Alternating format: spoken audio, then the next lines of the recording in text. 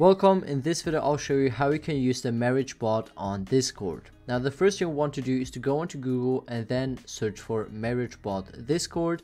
And the first link should be a website um, top.gg and then you can click on that or maybe you can already see a discord link which says invite marriage bot or maybe you even find the official marriage bot website.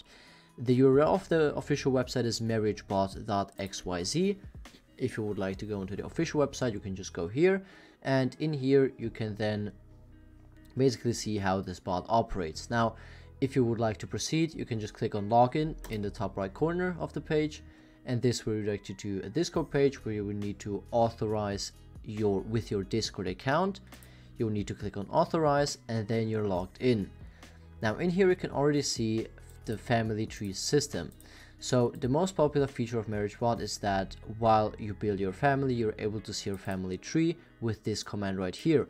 I'll make sure to copy this command and uh, first we want to add the bot to our server. So we will need to click on this link here.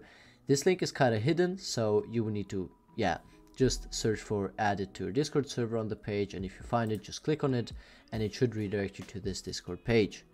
In here, you'll need to select the server. As you can see, this is the correct server already, gaming template. So I'm going to invite this bot to the server right here. Here are all of the, um, all of the, what is it called? All of the permissions that we're giving this bot. And if you're fine with that, you will need to click on authorize and confirm that you're a human. You can see that takes a while and after a few seconds, the bot has been added to your Discord server.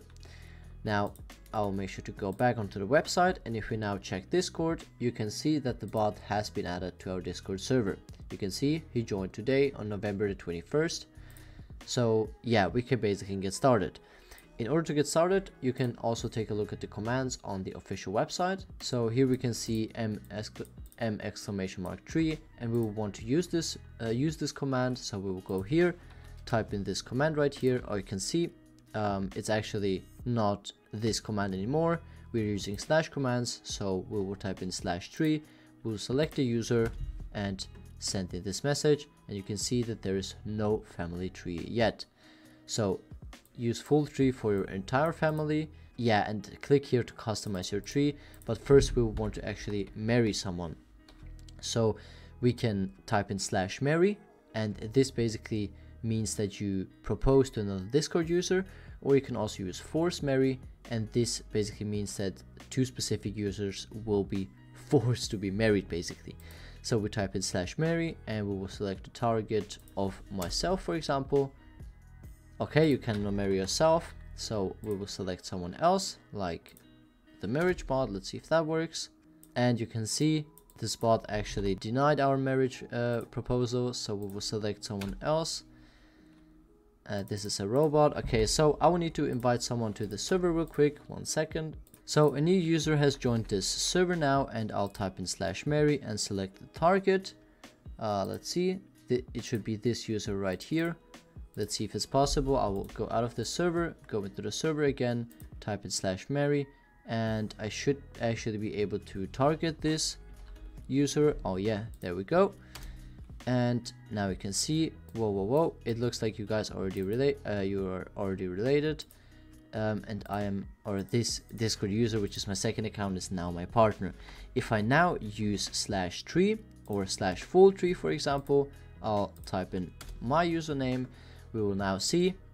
Oh you can see this is a premium feature. We would just type in slash tree. I'll, I'll select myself here and now you can see that I am married to this guy already.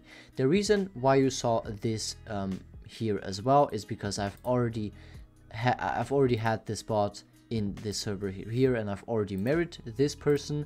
So that is the reason why there was no proposal.